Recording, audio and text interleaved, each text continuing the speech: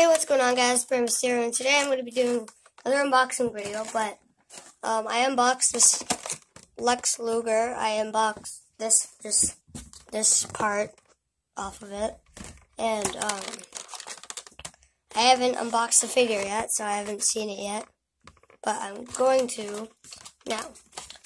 So, I think it comes with like a J.J. Dillon thing, the body of it. It's kind of weird. But there's, there's the J.J. Dillon body. Sounds weird.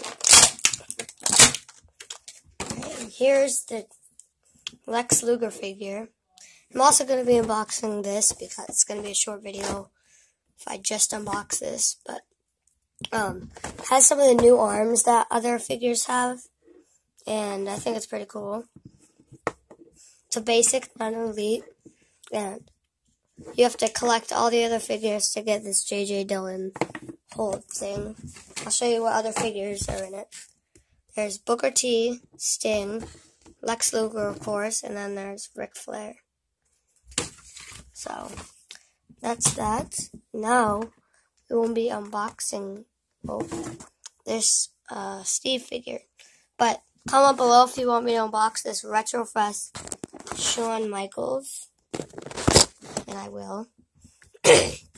or if you just want me to leave it there. But be back when I unbox it.